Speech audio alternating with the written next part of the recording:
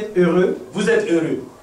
parce que l'Esprit de gloire, l'Esprit de Dieu repose sur vous. Vous êtes outragé pour le nom de Christ. Vous n'êtes pas outragé pour le nom de chrétien. Si vous êtes outragé pour le nom de Christ. Quel est le nom de Christ? Le nom de Christ est égal à Jésus. Continuons.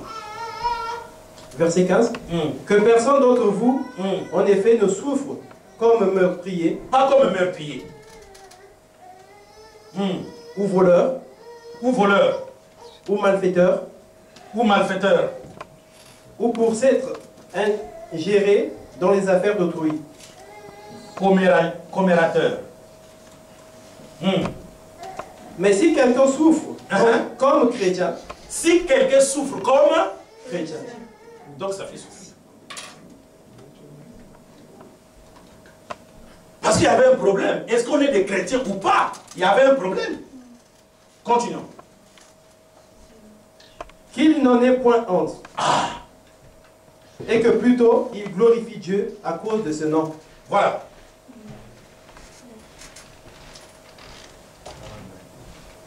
Oui, donc ça faisait mal. Maintenant, écoutez, Pierre, toi, qu'est-ce que tu en dis? Non, il n'y a pas de problème. S'il faut souffrir seulement à cause de ce nom-là, c'est pas grave. Voilà le problème, comment Paul, euh, Pierre a dit. Cela ne veut pas dire Pierre a accepté. Ça le faisait souffrir, c'est normal. Parce qu'on ne va pas fermer la gueule de tout le monde qu'on ne nous appelle pas chrétiens. Aujourd'hui, je suis en train de le dire, les gens vont bouder. Nous sommes des croyants. C'est bien écrit dans Romains chapitre 4. Nous sommes des croyants. Maintenant, les gens disent, dans les autres traductions chrétiennes, en bas, on met celui qui a l'esprit de Christ. Mais l'esprit de Christ, on l'a eu depuis l'Ancien Testament. Amen. Amen. Pourquoi on ne les a pas appelés chrétiens? Dans Romains 4, on nous parle de qui est notre Père. C'est pas Abraham Le Père des croyants. Pourquoi Paul ne dit pas le Père des chrétiens? Et puis Paul n'a jamais adressé une lettre aux gens pour dire que les chrétiens étaient.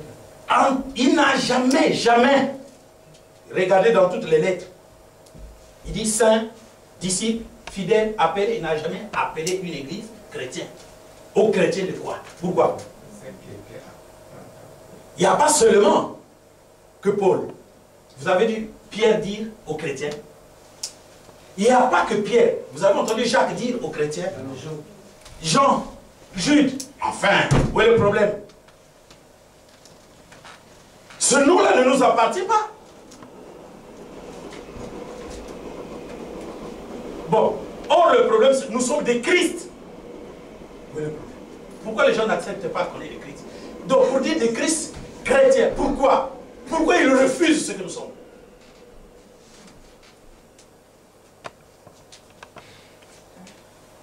On est des saints. Oh non, nul n'est saint.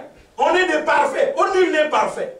Nul n'est parfait, c'est les incrédules qui nous le disent, mais nous, on est des parfaits. C'est comme ça que tu nous considères. Pourquoi vous voulez nous refuser ça? Oh, mais tu pêches. Mais je pêche, oui. Donc tu es fier de tes péchés? Oui. Mais parce que mon Dieu ne me condamne pas. C'est vous qui me condamnez. Bon, maintenant, vous, vous ne péchez pas? Oh oui. Mais alors, toi tu pêches, moi je pêche. Maintenant, le problème c'est, quelle est notre relation avec Dieu? Dieu ne me considère plus comme pécheur. Tous les péchés que je commets, je les commets en différé. Parce que ça est dans ma chair. Tant qu'il n'a pas encore vaincu la chair, je le commettrai toujours. Mais quand je les commets, je ne suis pas condamné. Pourquoi je ne suis pas condamné? À cause de mon salut, Dieu a envoyé son propre Fils dans une chair semblable à celui de la chair. Un avocat, nous avons un avocat auprès du Père. Vous allez nous condamner comment? Et cet avocat-là, c'est Jésus-Christ. Amen. Amen. Vous voyez, frère, la lumière, la vie. Oui, frère. Moi, j'ai une question. Je voudrais revenir sur le, le quand on a dit les sorciers.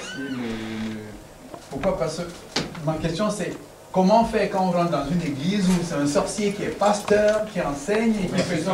Qu'est-ce qu'il faut faire dans ce cas-là? tu sens d'humilier. Frère, sortez du milieu de mon peuple pour ne pas participer à leur péché. Sortez Mais toi, tu vas entrer dans l'église. Qui t'a dit d'aller entrer dans une église? Qui te l'a dit? Si c'est le Saint-Esprit, il ne va pas te conduire dans une église où une femme prêche. Il ne va pas te conduire dans une église où c'est un sorcier qui est à la chair. Le Saint-Esprit ne t'amènera pas dans le péché alors qu'il dit sortez. Si j'étais sorcier, cette église serait pleine de gens.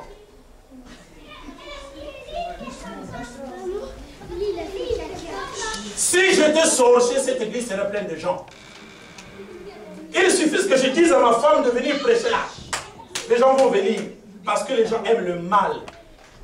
Ce que la Bible dit, c'est que leur péché est arrivé jusqu'au ciel. Leur péché force la porte du ciel. Vous ne savez pas ce que ça veut dire. La terre est remplie de péchés. Comme le fond de la mer est rempli par les eaux qui le couvrent. Le péché bouscule au ciel. Donc, là où Christ est, il entend le péché juste à sa porte au ciel. C'est-à-dire que sur terre, il n'y a que le péché. Et l'église est devenue une habitation de démons. Elle devait être l'habitation de Dieu en esprit. Aujourd'hui, elle est une habitation de démons. Pourquoi? À cause de toute cette fausseté. On plaque la fausseté même dans la parole de Dieu. C'est clair, frère. Non, moi quand j'étais sorcier, je faisais ça, ça. Si tu es sorcier, au cas où même tu te convertissais, mais tais-toi, ne parle pas de ta sorcellerie. Romains 6 l'interdit. Je peux prendre le verset. Donc il y a des consignes dans la Bible. Aujourd'hui, les gens arrivent. Oh, vous savez, nous, quand on était à la Rose-Croix, quand on était à la franc-maçonnerie, euh, euh, vous, savez, les viandes là que vous mangez, c'est les enfants qu'on avorte. Attends, vous êtes en train d'embrouiller Nous, on mange le poulet, vous nous dans le monde pandemonium, on les produit par les enfants qu'on avorte. Un enfant qu'on avorte va devenir un poulet. Mais les gens aiment, aiment ça.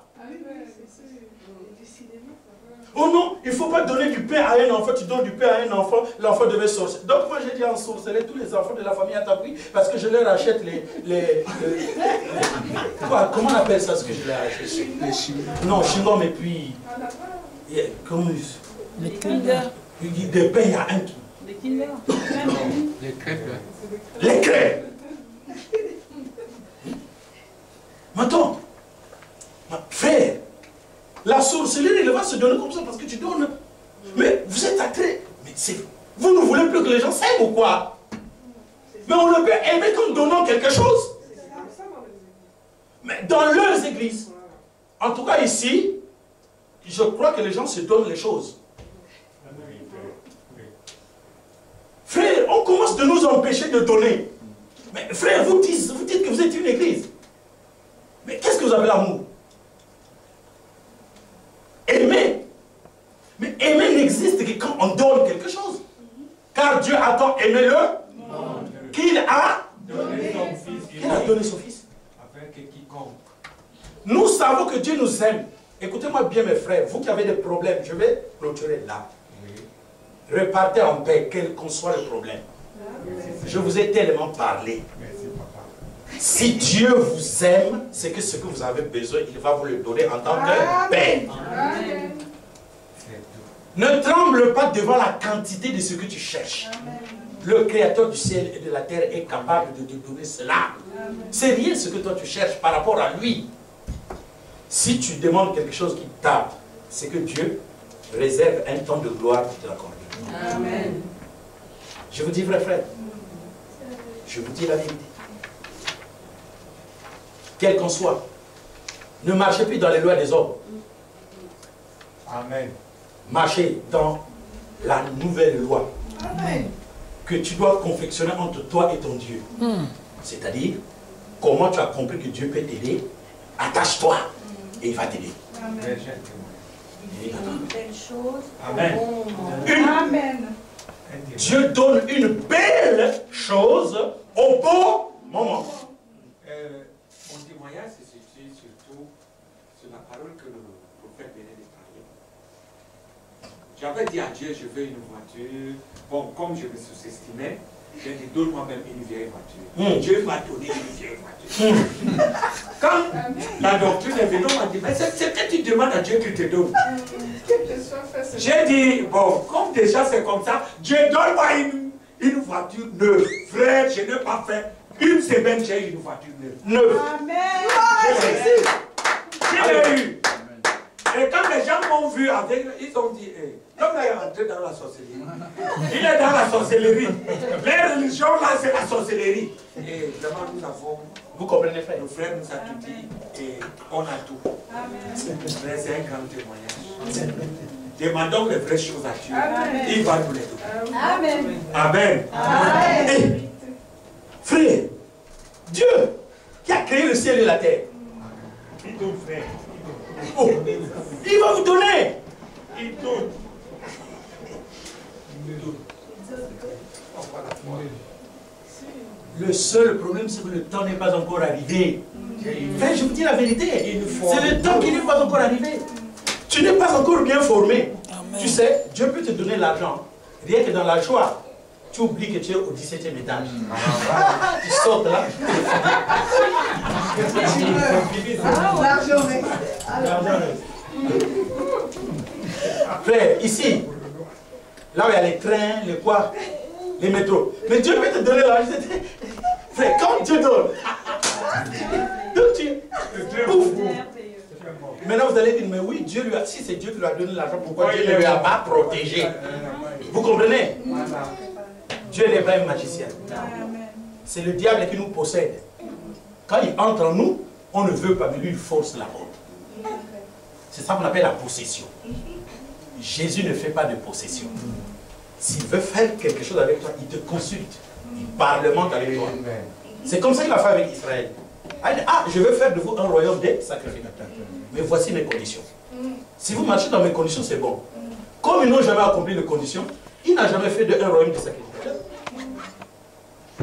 Mais le diable, que tu le veux ou pas, il fait de toi un, un prostitué, un pédé, un gay. Il ne faut pas crier sœur. Je dois dire la vérité. Amen. C'est la vérité, frère. Sœur, je peux te montrer un Ézéchiel comment parle de Dieu. Quand Dieu parle de Ohola et Oholiba, tu connais l'histoire de Ohola et Oholiba? Vous ne connaissez pas? C'est l'histoire de Judas et de Samarie qui se sont prostitués. Amen. Si je me mettais à lire ça, vous allez craindre même d'écouter Dieu. Comme il parle de ça, Amen. Ohola et Oholiba, les deux sœurs prostituées, vous, quand on parle de ça, mais quand lui-même Dieu, Dieu dit, tes amants ont touché le bout de tes seins. Heureusement que c'est Dieu qui a dit, hein. si c'est le pasteur, vous allez crier. Dieu a dit à travers le prophète.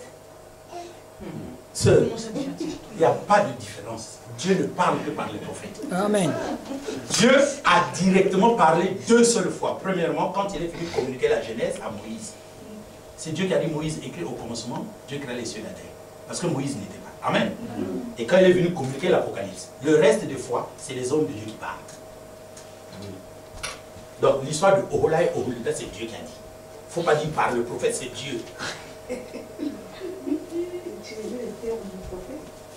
Non, il n'a pas utilisé les termes du prophète. Il n'a pas utilisé même la connaissance du prophète, c'est pas vrai. C'est l'Esprit Saint qui communiquait ça, dit comme ça. Vous, pourquoi Pourquoi vous voulez qu'on fasse exception? Dieu va... Ah, mais vous, vraiment. On va terminer là. Non, je cherche seulement le verset. On peut même déjà se lever. Même si je ne vous le communique pas aujourd'hui, je peux le faire à... Alléluia. On va oublier. bon. Allez chercher. Non, c'est mieux de. Pour l'enregistrement. Voilà. Je ne communique pas ça pour l'enregistrement. Ils viennent ici. On se lève. Vous voulez qu'on donne tout à tout le monde. Donc il n'y a même pas de choses qu'on peut seulement dire ici.